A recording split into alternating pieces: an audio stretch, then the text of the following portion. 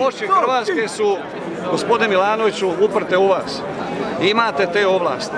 A recite ovoj HDZ-ovoj trgovačkoj većini, dosta je, lupite šakom u stol, jer vi imate taj temperament.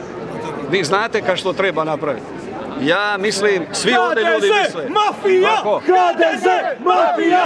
HDZ, mafija! HDZ, mafija! HDZ, mafija! HDZ, mafija! HDZ, mafija!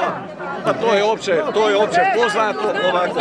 Molim vas, samo da još par riječi kažem, pa još ću dati priliku da dvoje, troje ljudi govori.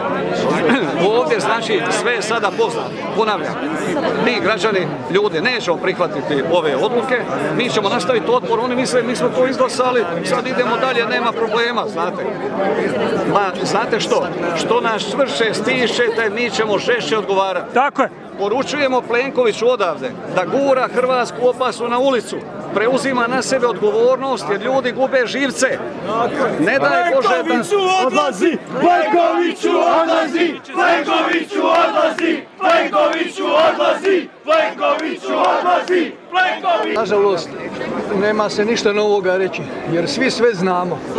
Već dugo znamo, a danas smo to doživjeli kao krunu jedne bezočnosti, jedne laži, jedne, jednog nasilja i terora, gdje vlast minorizira narod, gdje ga prezire, gdje ne drži do njega ništa, gdje mu laže. Prema tome, sve je posve jasno i ne trebamo se čuditi ničemu.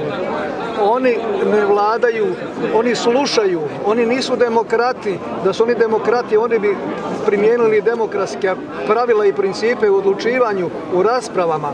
Oni slušaju naredbe izvana i, provode ih, a nama se prikazuju kao neki demokrati i tobože nekakvi, nekakvi e, narodni ljudi. Oni su protunarodni ljudi, oni su zlodusi na ovome trgu. Zloduhe treba protjerati i oni će sami za par godina završiti tamo gdje im je mjesto u Remetincu, ako, ako prežive.